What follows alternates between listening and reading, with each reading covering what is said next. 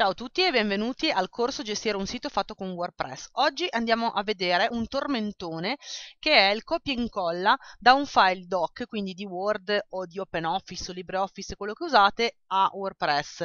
Perché quando voi fate copia e incolla da un qualsiasi file a WordPress, a volte succedono dei casini inenarrabili, nel senso che eh, il copia si porta dietro una marea di formattazione schifosa, inutile, che appesantirebbe il sito e che se non avete due o tre accortezze e non sapete come fare, andate a rovinare il sito, magari esteticamente sembra tutto uguale, ma dietro c'è un sacco di codice sporco che dà fastidio alla velocità del sito e quindi dà fastidio a Google e al solito posizionamento. Quindi andiamo a vedere come farlo in modo ben fatto.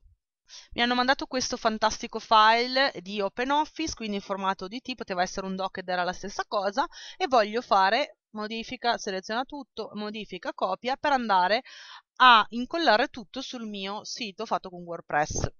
Bene, voglio andare ad aggiungere questo testo in questa pagina, vado, sono già entrata nella bacheca, ho fatto login, vado in modifica pagina, e mi vado a posizionare nel punto dove voglio che appaia il testo incollato, quindi vado a scorrere fino a trovare il punto desiderato, inserisco i miei spazi e sono pronta per fare incolla.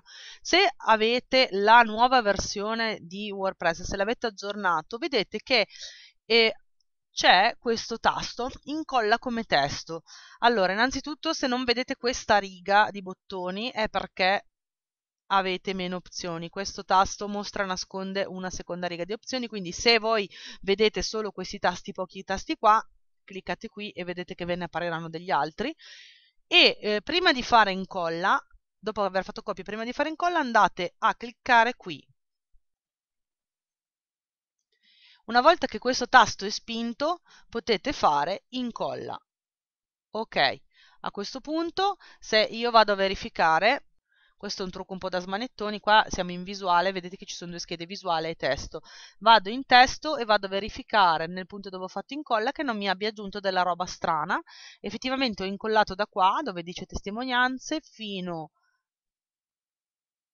in fondo e non mi ha aggiunto niente di strano, per cui ho fatto bene il mio lavoro. Vi faccio solo vedere la differenza. Togliamo qua il tastino premuto. E facciamo di nuovo copia e incolla. Quindi vado di nuovo sul mio OpenOffice e faccio seleziona tutto copia. Modifica seleziona tutto modifica copia.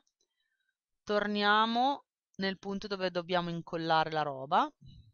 È lo stesso punto. Stavolta non lo attivo e faccio incolla quindi faccio tasto destro incolla.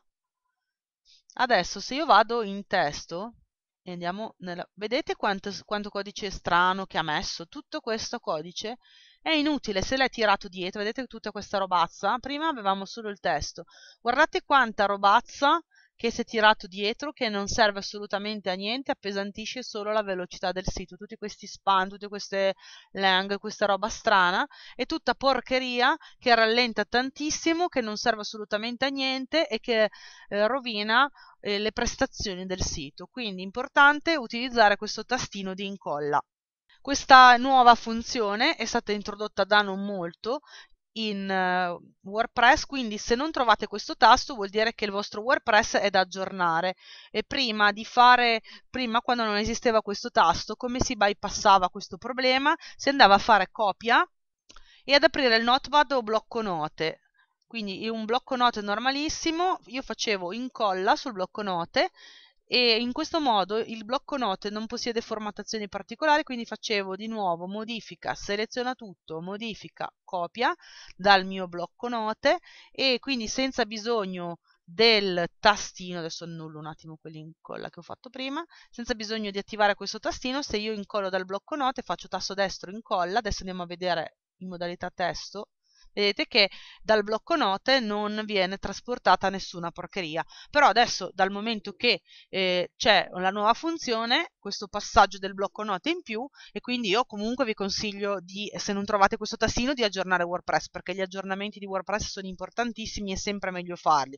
Comunque se per caso quel giorno lì non avete tempo di aggiornare incollate utilizzando il trucco del blocco note però caldamente suggerito aggiornate perché gli aggiornamenti servono anche per evitare che il vostro sito sia infettato da virus, quindi meglio perdere un attimo di tempo ad aggiornare piuttosto che a perdere il tempo a fare copia e incolla col blocco note.